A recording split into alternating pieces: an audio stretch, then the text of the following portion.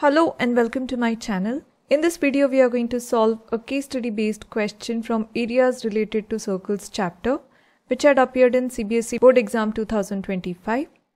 Now this question has three sub questions. The first and second sub questions are for 1 mark and the third sub question is for 2 marks and it has an OR question as well. That is either you can attempt the A question or the B one. So let us start with the first question now.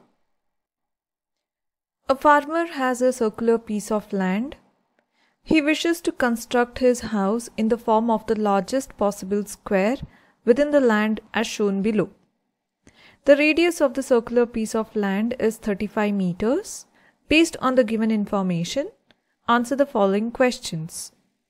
The first sub question is Find the length of the wire needed to fence the entire land.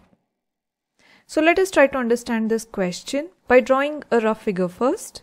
So here it is given that a farmer has a circular piece of land. So we have drawn a circle over here and he wishes to construct his house in the form of the largest possible square within this land. So ABCD represents the largest possible square on the given circular land. Now the radius of the circular piece of land is given as 35 meters. So here we have joined the points B and D and O represents the center of the circle. So OD becomes the radius of the circle and radius of the circle is given as 35 meters. Now in the first question we have to find out the length of the wire needed by the farmer to fence the entire land. So if he is going to fence the entire piece of land, we are talking about the perimeter of the circle or the circumference of the circle. So we have to find out what is the circumference of the circle over here. So here we have written length of the wire needed to fence the entire circular piece of land is equal to the circumference of the circle and the formula for circumference of the circle is 2 pi r where r represents the radius. So here we have taken pi as 22 over 7. So we get 2 times 22 over 7 times the radius is given as 35 meters. Now 7 divides 35 that is 7 1 times is 7 and 7 5 times is 35. So 2 times 22 gives us 44 and 44 times 5 gives us 220 meters. So the length of the wire required by the farmer to fence the circular piece of land is 220 meters. Now let us move on to the second sub question. Find the length of each side of the square land on which the house will be constructed. So I have referred the figure over here for easy reference.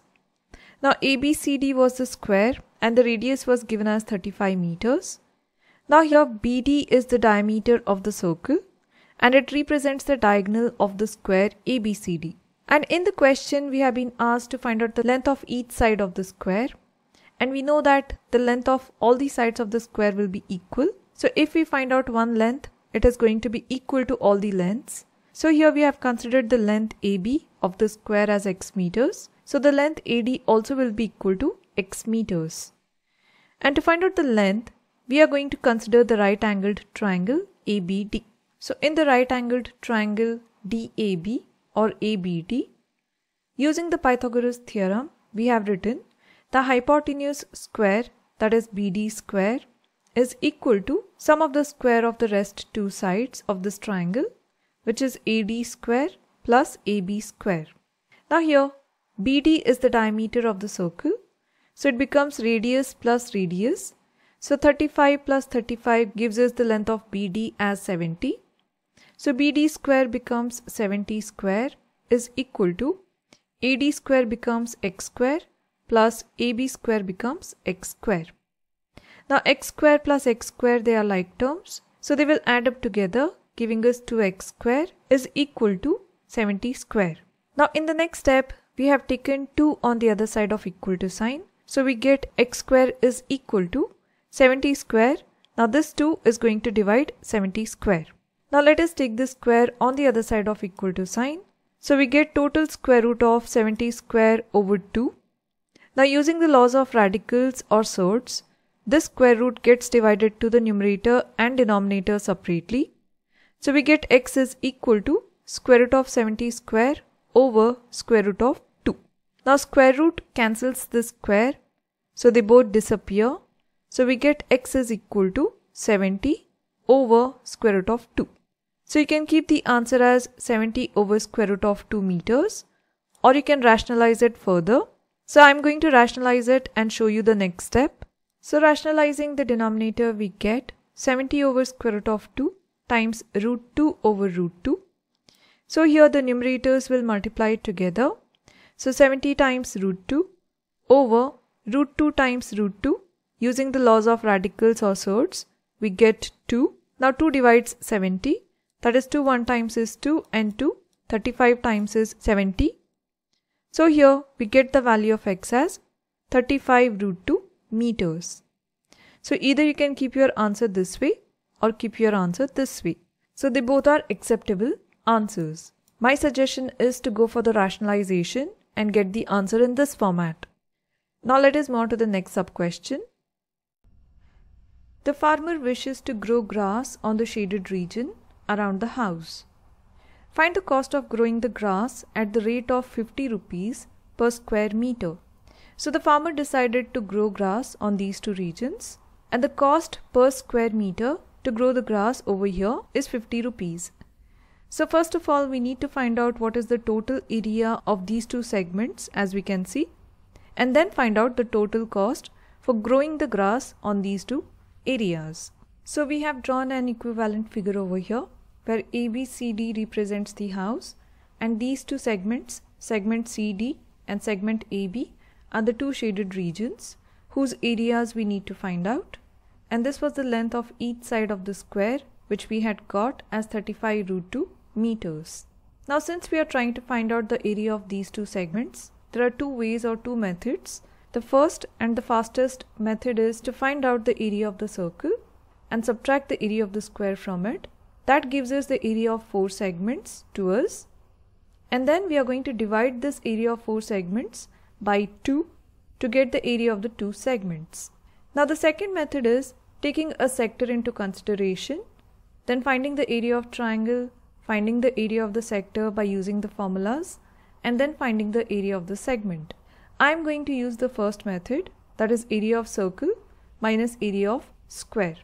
So area of four segments is equal to the area of the total circle minus the area of the square. So area of circle is given by the formula pi r square minus area of square is side length times side length. So here in place of pi we have written 22 over 7 times the radius of the circle was given as 35.